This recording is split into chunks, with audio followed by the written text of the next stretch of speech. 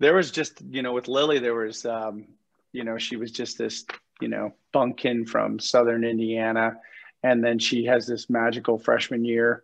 She goes into Olympic trials after her freshman year and wins, and she's like first in the world. And and the you know David Marsh is like, hey, you know, like we expect a gold medal here. He was the head women's coach, and he goes, you know, we expect a gold medal here, and you know, don't screw this up. And and I'm like, all right, you know, and I and I was trying to help her.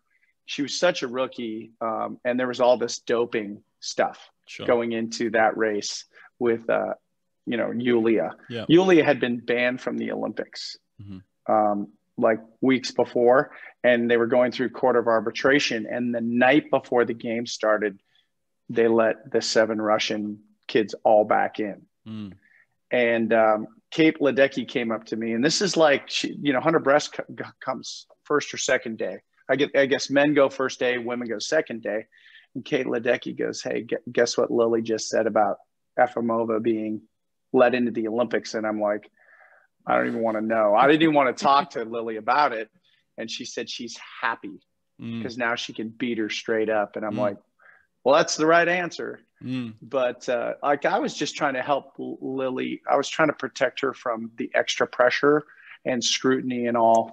And and I said, hey, don't don't get involved in that drug talk. Like just let the older girls, the more experienced, handle it. And she goes, that that's a really good plan because like I'm kind of nervous. And normally she's not nervous. She's like just a stud. Like yeah. thrives under pressure, but you know she didn't realize they were filming the the ready rooms no, nobody told her. Yeah. And they caught her, caught her wagging that finger. And then the the NBC people were like, "Why are you wagging the finger?" And she goes, "Well, I'll just." uh Gotcha. Sorry about that. Yeah, down to ten percent battery. Hopefully this lasts. But she goes, uh, she just she spilled the beans on everything she hated about doping and just went nuts. Fair and enough. I didn't see. I, I didn't. Yeah, fair enough. And uh, but we were gonna. The plan was to avoid all that. Right to keep pressure off of her right. so that she could just just race. And she just completely dialed it up to where if you lost you were going to have egg on your face for decades like maybe ever.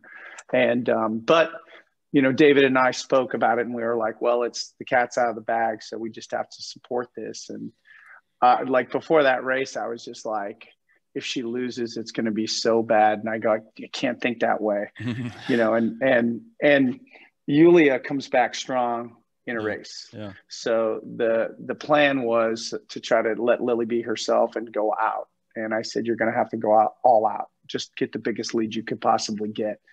And she goes, well, what if I die? And I go, you're, you're going to, you're going to die for sure. The plan is she'll die worse. You'll, you'll drag her out to uh, you know an mm. uncomfortable mm. place. Yeah. And I put myself like in the stands right where I thought Yuli might catch her. Yep. Which was about the flags, and she caught her at the flags, literally. And I'm just like, worst nightmare. But Yuli just stopped moving forward at that point. She was swimming, but not moving forward. So yeah, yeah well, I also think that there's a point in Lilly where she senses that. I've seen her in other races where she senses yeah. people. She has a knack for getting her hand on the wall. Like, like it's a, it's a determination. Like I'm touching that wall before anyone else. Yeah, there's something about her where if she's even with somebody with last lap, last 10 meters, last five meters, you you would never want to bet against her. No. I've never seen her lose in that environment where she could just be dead, like nothing left, yet she'll she'll pull it out. And you saw that with ISL a lot too. Does that happen in practice or is that really just a competition thing where she's under pressure? Only competition, only wow. under extreme pressure. Wow. Like for her to to to like break a world record or to do something spe- special, she has got to be under the gun, back against the wall, like the most threatening person mm. in front of her against her Isn't it to, amazing? to get that level. Yeah, it's it's incredible. like for me, in a way, that didn't bring out the best in me. I, I felt that pressure when I was at the Olympic Games. I was in lane five in the final in 2004. I felt that lane five. Like I felt the yeah. weight of lane five. But there are people, rare people like Lilly, who have this ability to thrive and expand and grow under that type of pressure. It's super rare, right? Very rare. It's the only athlete I've ever had at that level. And she wants it. Like she's like bored if she doesn't get it. Yeah. And and she's looking for it. Mm-hmm. Like in the, the the meets that she gets to go to where that actually happens, it could be two years apart, and then just trying to keep her interested. But yeah, it's it's amazing. I have never had Blake's probably the second in line as far as like somebody that in the worst of scenarios, the most, you know, uh, you know, weighted pressure, just being able to to perform, pull sure. it out. Sure. But Lilly's like just almost wouldn't say she's a guarantee, but gosh, I just when when the chips when all the chips are in the center of the table, you just want to see that race.